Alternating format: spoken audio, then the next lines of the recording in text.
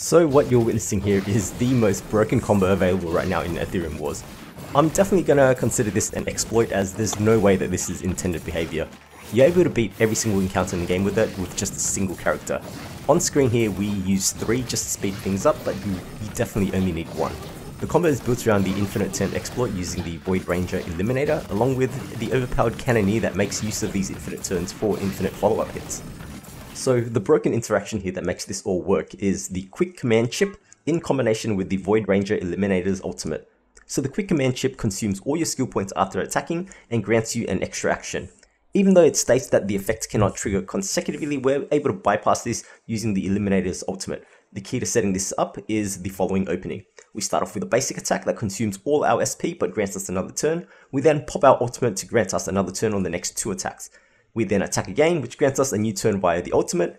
We then take this turn which consumes our SP, granting us another turn, which recovers our energy to max, letting us do the loop all over again. So essentially you want to do a basic attack followed by an ultimate. Once you land the first attack into an ultimate, you can just switch it on to order and let the battle finish. And so where this build gets extra silly is when we introduce the Silvermane Cannoneer into the picture. The Cannoneer's skill has him do a follow-up attack whenever his marked target does an attack, and this skill lasts for two turns. However, that's two turns of the Cannoneers, and because he never takes a turn, because the Eliminator has infinite turns, the Cannoneer will never take a turn which gives you infinite follow-ups.